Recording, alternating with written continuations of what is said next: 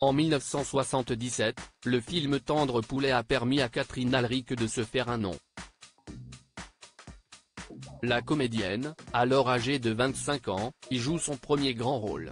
Alors que l'œuvre sera diffusée sur Arte, le 15 janvier 2024, elle a répondu aux questions de nos confrères de Télémagazine. Elle a été interrogée sur son souvenir le plus marquant de Tendre Poulet. Pour elle, CIST son premier jour de tournage au Trocadéro. Une scène d'interrogatoire avec Annie Girardot. Me retrouver face à elle que je rencontrais pour la première fois était très impressionnant pour la jeune comédienne que j'étais, a-t-elle ainsi déclaré. Elle s'est d'ailleurs souvenue que la comédienne avait été très délicate avec elle et qu'elle l'avait tout de suite mise à l'aise. Annie dans la vie et Annie à l'écran, c'était la même nature. Elle jouait de manière spontanée, d'irrité, ne se compliquait pas la vie et mettait une légèreté formidable sur le plateau. Elle semblait n'avoir besoin d'aucune préparation avant moteur.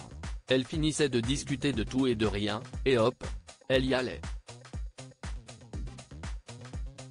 C'était motivant pour moi. Je la considérais comme ma marraine de cinéma, a encore expliqué la comédienne aujourd'hui âgée de 69 ans qui se fait plus discrète sur les plateaux de tournage et à la télévision. Catherine Alrix est toujours ouverte à de nouvelles propositions et il semblerait que ce soit d'ailleurs par manque de propositions et par une envie de se retirer volontairement. J'ai pris du recul pour des raisons personnelles et quand on me proposait des choses, ce n'était pas intéressant. Malgré tout, lorsqu'elle est emballée par un projet, elle n'hésite pas à se lancer comme elle l'avait en 2020 avec le mensonge. Ainsi, elle n'est pas fermée et est toujours à l'affût de toute nouvelle proposition qui pourrait lui permettre de vivre une belle expérience.